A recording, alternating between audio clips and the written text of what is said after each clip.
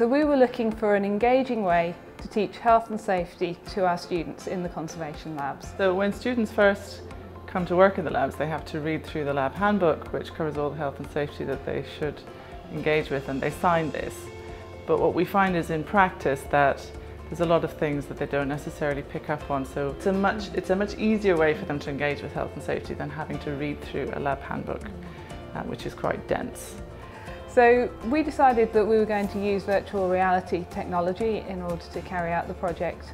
Um, and we worked together with the digital education team to produce a 360 video. We were also helped with the project by the Teaching and Learning Fund at the university who provided some funds for us to purchase some VR headsets which made it possible for the project to go ahead. Um, we brought in lots of volunteer students and staff members including Kathy, to star, help to star in the video um, and carried out good and bad health and safety practices. We used our lab spaces to make it seem as real as it possibly could to people viewing the video. And when we were making the video, the first thing we did was sit down together with all the staff and make a list of the common health and safety issues that we noticed and that's how we wrote the script for the video. Um, so it was based on identified needs and that's how we developed it. And then we showed that 360 video to our students.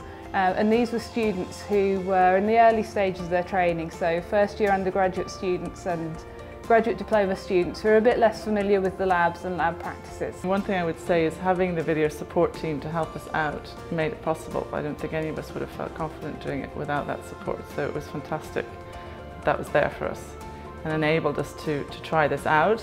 I think now that we have tried it out, we can see there's a lot more things that we could do with it. The students were also asked to fill out a feedback questionnaire because we wanted to know what they thought of it.